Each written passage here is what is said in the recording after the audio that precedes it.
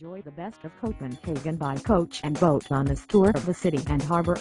Some of the city's sights are best enjoyed from the sea, so take this opportunity to admire many wonderful towers and famous palaces. There are great photo opportunities including stops at the Royal Palace and the Little Mermaid. Your tour starts by coach, first passing the Tivoli Gardens, New Carlsberg Glyptotek Art Museum and the magnificent Gefion Fountain and Kongens Theatre. At the Old Fish Market, a pre-booked final boat is waiting to take you on a cruise through the bustling harbor of Copenhagen. As you glide through the bustling harbor, past many of the wonderful towers and famous palaces in Copenhagen, not forgetting of course the Little Mermaid. Continue through the picturesque canals of Christianshavn and Frederikshavn, where Mr.